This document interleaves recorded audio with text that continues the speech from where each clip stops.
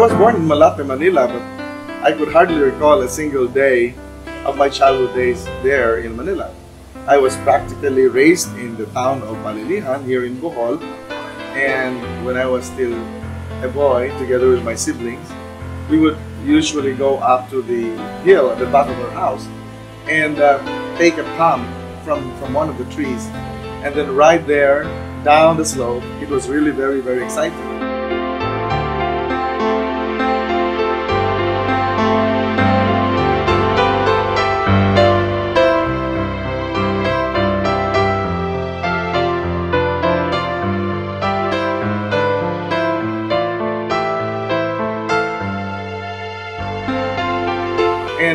My elementary days, we were just little children roaming around. We, we had our own garden in the other block of the elementary training department of the Weinberg College.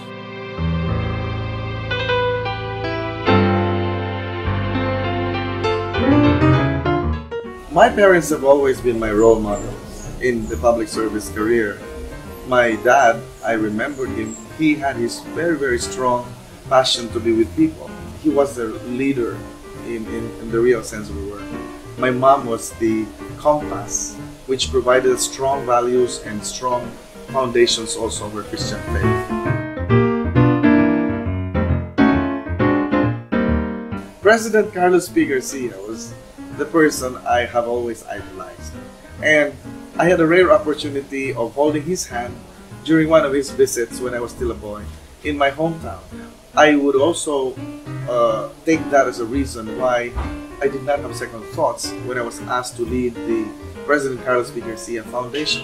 His life and his writings and his humility as a person uh, with strong convictions and uh, very, very articulate and uh, uh, a person, a, a man who really inspires not only the Boholanos but the Filipinos. So I think President Garcia is the man I would consider as a role model.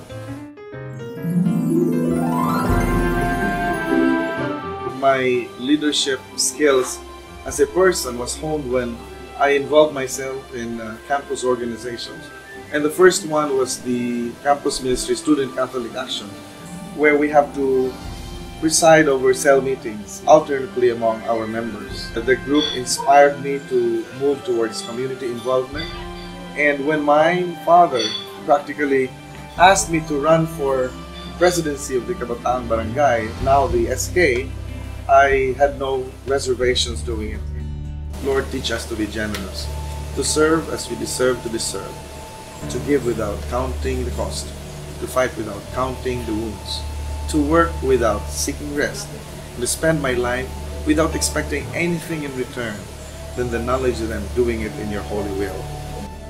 The SCA prayer gave me the strength every time I move on to new challenges.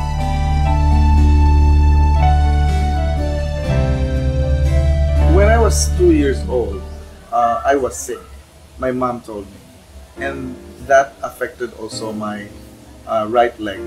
It was a polio, and uh, I think the positive side there is I have a very very soft heart for helping the disabled. My projects for the disabled, uh, together with the non-government organizations, are, are things that has influenced positively the, the lives of, of these disabled persons. So they have adopted me as their brother.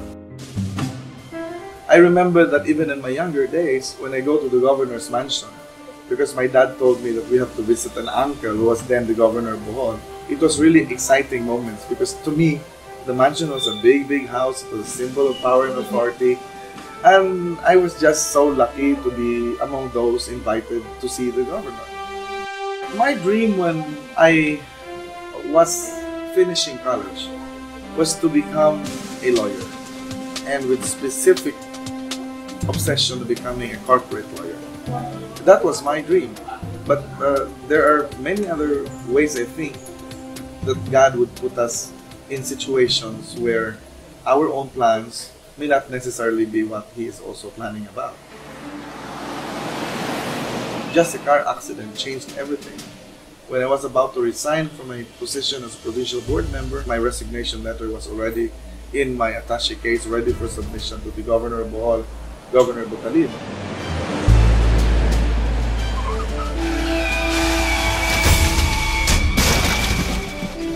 When the car accident uh, almost killed me and crippled me many, uh, for a couple of months, I wasn't able to submit my resignation letter. And I ended up coming back to Bohol, continuously serving as provincial board member representing the youth sector, enrolling in the College of Law at Holy Name University. My professor then was telling me, especially Dean Suping Tinampay in the College of Law, that I should not be in politics and also in law school at the same time. Uh, you should have only one. You cannot have both. My decision to run for mayor in Balilihan was influenced by the pressure of the political group in my hometown, led by my father. And I was still in fourth year law school then. So that was my greatest challenge. Uh, taking the bar at the same time I was mayor of Balilihan. And I said I will try to prove to myself and to my dean that if we just budget our time, work and pray, we can have both actually. And I passed the bar in the same year. It was difficult because I did not know the leaders and I was just there because I was the son of my father. But after I won that election, I have to prove to people that I was my own man.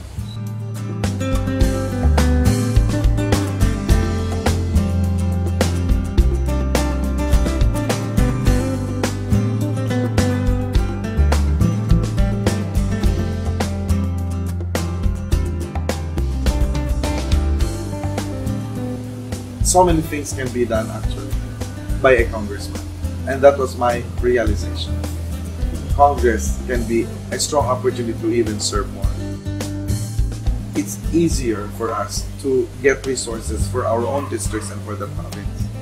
I think the law that took a lot of my time and also I think is closest to my heart was the Tourism Act of 2009.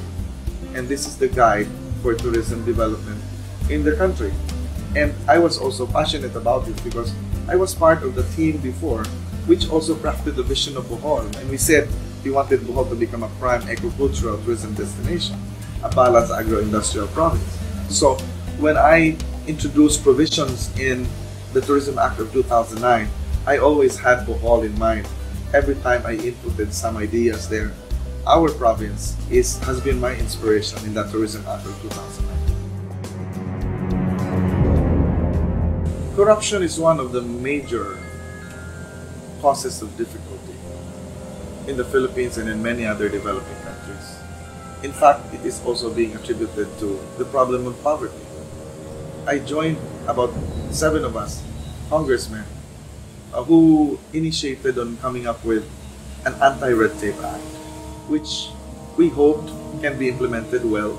This particular law was envisioned to avoid delays in government transactions and to avoid also opportunities for corruption.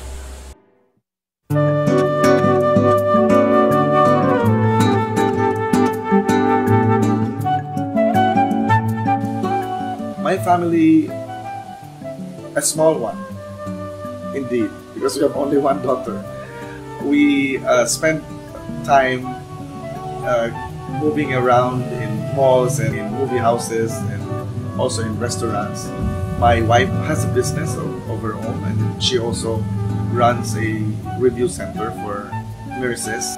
And my daughter is a very diligent student. Incidentally, she's studying in Ateneo. And so we are far apart from each other now that I'm here. We look forward to uh, weekends where we can be together. We are very, very uh, conscious of the fact that in public service, so many other people take our own time. We have, of course, to treasure our own special moments together as family.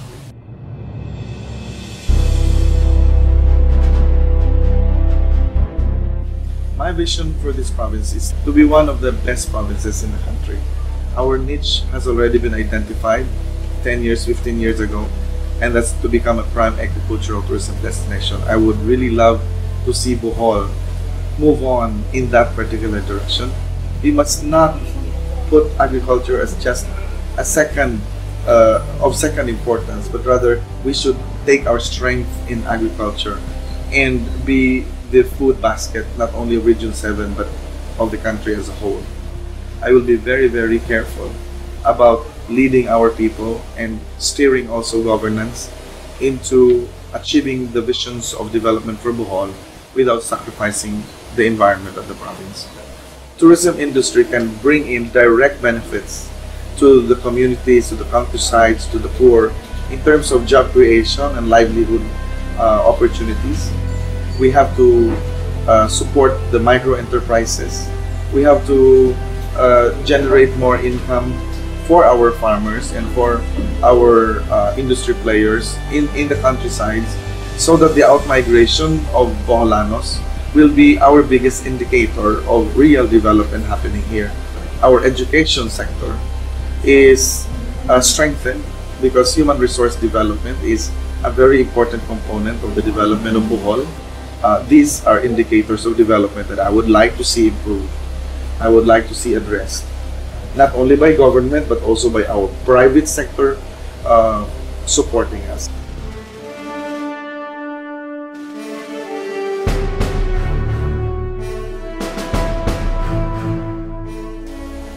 I am not afraid of failures because failures actually are just part of the opportunities for success. They become your inspiration to work harder. I remember one writer said, a kite can never fly higher unless it soars against the winds.